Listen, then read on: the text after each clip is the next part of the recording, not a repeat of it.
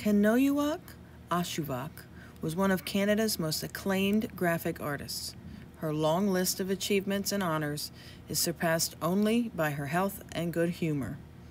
She was born in an igloo off the coast of Baffin Island in an Inuit camp in 1927.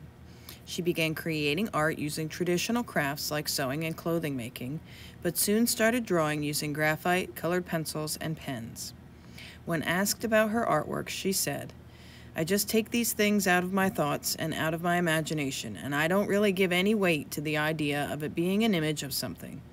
I am just concentrating on placing it down on the paper in a way that is pleasing to my own eye, whether it has anything to do with reality or not.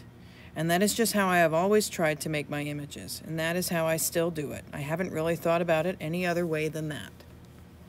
Let's take an image of our favorite animal from our head and see if we can add a little bit of a twist, the way Kenojuak would draw in her artwork. Make it fanciful, make it creative, make it a little silly, but very colorful.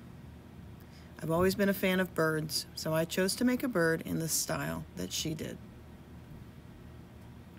Inuit artist Kenojuak Ashevak.